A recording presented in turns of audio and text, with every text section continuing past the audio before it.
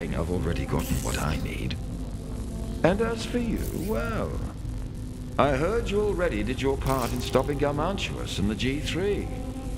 Well done, Bounty Hunter. You humans really do continue to impress me. Please watch your step on the way out. These experiments are very delicate. Okay, shit. That's a lot. That was a fucking lot. Maybe it'll get addressed in the sequel?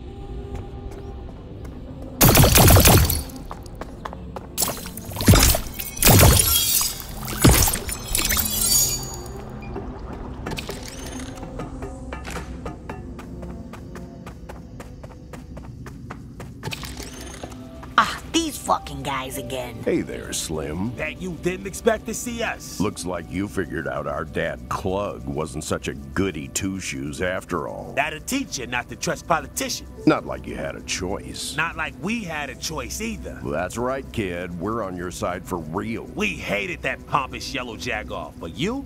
We like you. You've got moxie, kid. We love Moxie. And now that Clug's out of the picture, we went ahead and did you the favor of rounding up all your little friends here. Don't worry, we're taking care of them. That's a promise. We're straight shooters. That means we don't shoot crooked. We'll make sure everyone's safe and sound. Not a hair on their heads harmed. You get that cute little planet of yours back up and running. Then we'll help you send everyone back home. No need to thank us, we just want to help. And we love how much moxie you got. We really do love that Moxie. Take care, kid. Congrats on finding this whole secret part of the game. And thanks for cleaning up the trash. Yeah.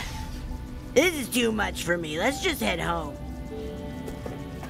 What do you want? Because we got nothing. Yeah, we're fresh out of fun things to say. Except this, of course. But from here on out, we're giving you the silent treatment. We still like you, though. Yep. We still love that moxie.